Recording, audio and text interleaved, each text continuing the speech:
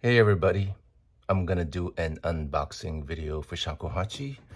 I heard that um, I can get a million hits if I'm unboxing something. So this one just came in on uh, in the rain today. So let's just see. I have a feeling I know what it is, but you never know, right? So. Okay. People to pack in the smallest box possible uh, with minimal packing. So this is not bad.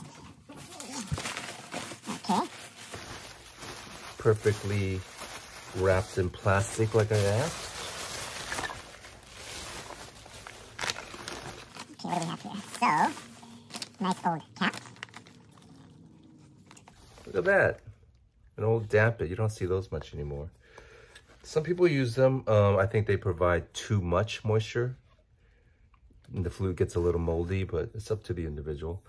Okay, so that's a problem, right? You see that tape? It's probably holding together a lot of... Uh, ah, more tape. It's holding together a lot of rattan. The old Kinko style. Oh, and it is a Kinko Ryu Shakuhachi. Very loose. Oh my god, look. You see that? It's going to require at least five coats of urushi. And look at this hanko. Can you all see what that hanko says? Whoa. Okay, I I'm sorry. I'm not holding it up well for you. But um there's two hankos, look.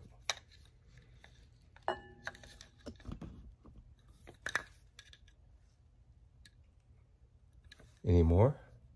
Oh, look. Four hankos and one down here. So one, two, three, and four. Can anyone guess whose hanko that is?